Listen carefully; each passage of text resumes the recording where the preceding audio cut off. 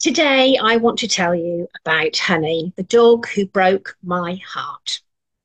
Honey was a street dog who, under the watchful eye of community carers, had surpassed the accepted lifespan of four years. She was well known and liked in the area, but tragedy struck one fateful day when she became the target of a dog hater.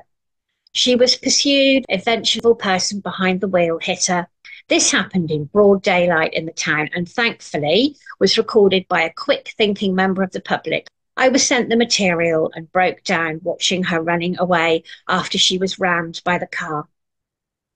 She was in a critical state and admitted to ICU.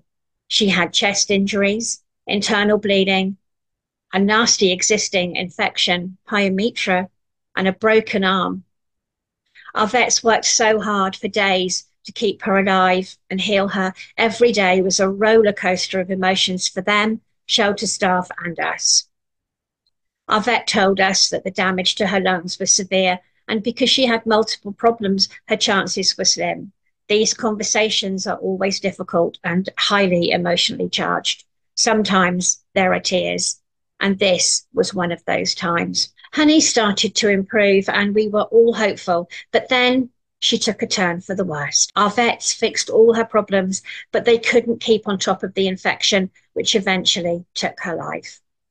Days like that hit us all very, very hard. To this day, whenever I think about her, I cry. We gave her a little pink collar and a name.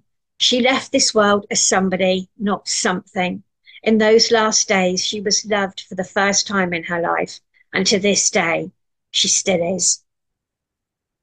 We made a digital memorial garden for her, which you can visit on our website. The garden is a place of solace for those of us who struggle with the losses. It helps us come to terms with the passing of dogs and reminds us how important it is to keep on going because there are so many dogs just like Honey out there, desperately needing somebody to care for them.